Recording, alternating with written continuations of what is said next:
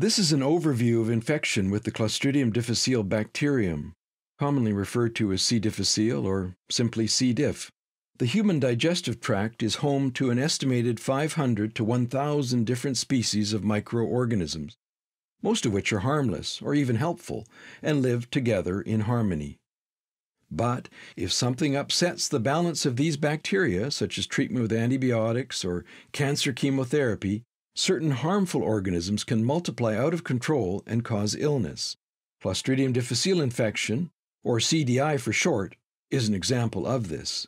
CDI is a bacterial infection that causes diarrhea, which can sometimes be debilitating, and other intestinal symptoms by inflaming the colon, causing something known as colitis.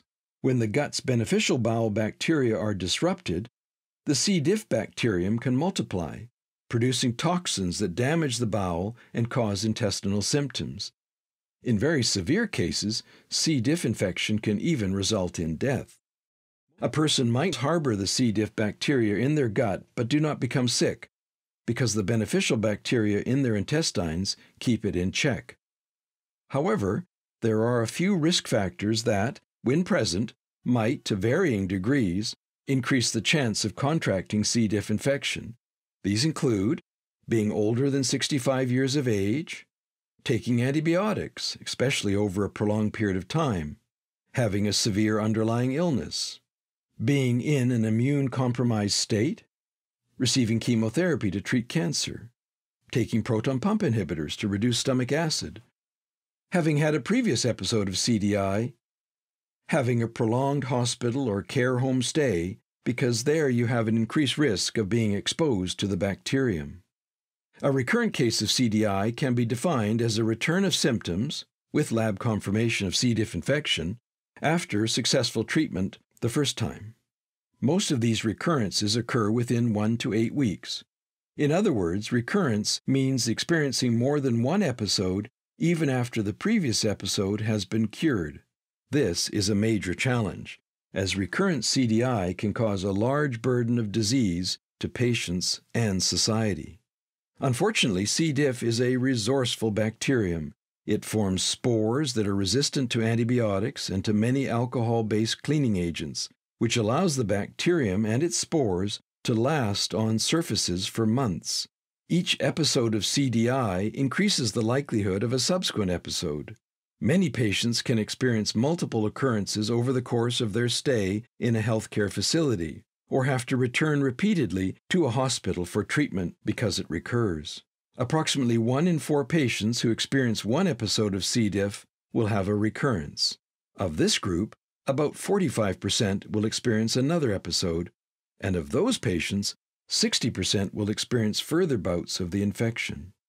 CDI is the most common cause of infectious diarrhea in hospitals and long term care facilities. In fact, patients often develop the infection after going to the hospital or other healthcare setting to receive treatment for another ailment.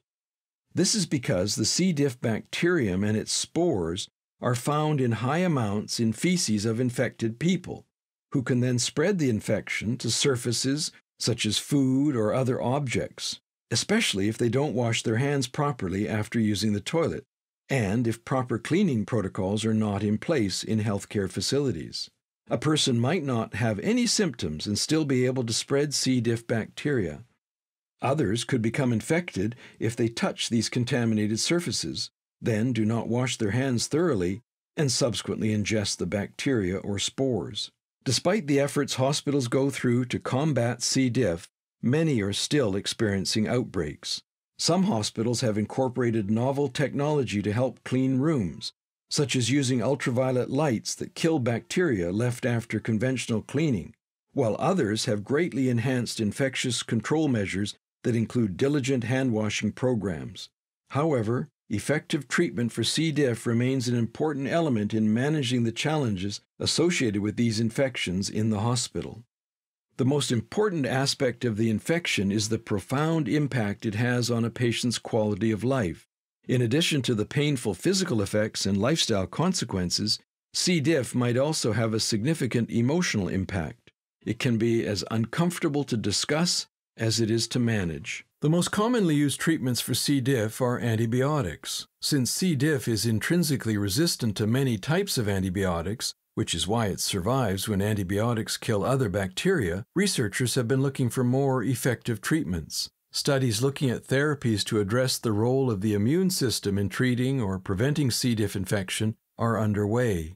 One promising option, when other treatments fail, is fecal transplantation which works by fixing the balance of microorganisms in the gut by introducing bacteria from a non infected person's gut. If you or someone you know is suffering from Clostridium difficile infection, there are resources available to help ease the situation.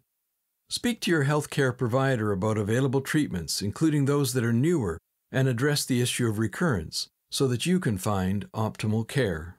I'm Dr. James Gray on behalf of the Gastrointestinal Society Thanks for watching.